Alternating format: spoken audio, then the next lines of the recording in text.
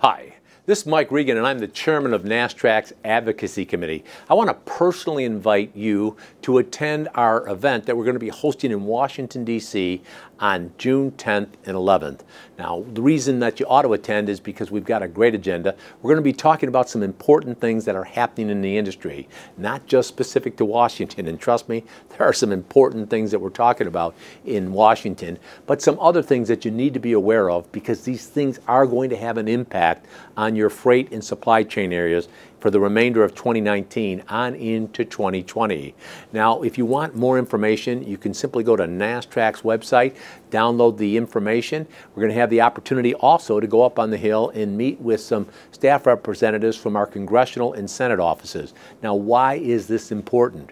Well, I've talked to a lot of congressmen and some senators, and one of the scary things about it is, is they tell me that they rarely hear from shippers on things that are important to them. So when they're casting votes, they can operate under a freight doesn't vote mindset.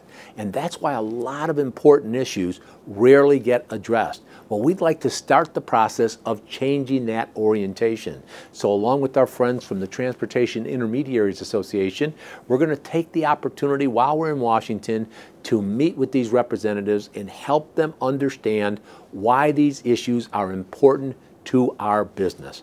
And that's why you really need to make plans to join us on June 10th and 11th in Washington, D.C. Thanks for your time.